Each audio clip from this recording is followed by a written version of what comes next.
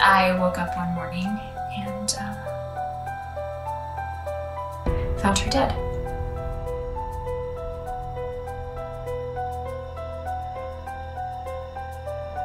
I mean, there's really not much to say. It's an unfortunate situation.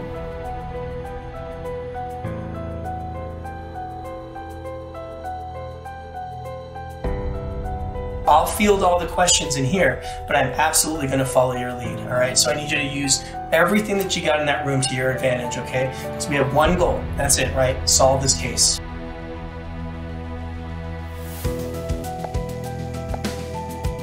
I went to the gym and the grocery store, and then I was home about 7:30.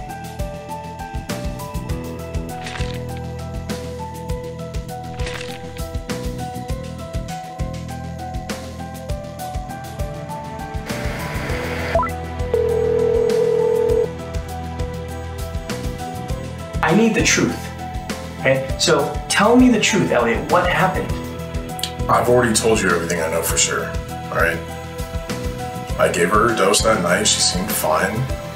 The next morning, she was dead.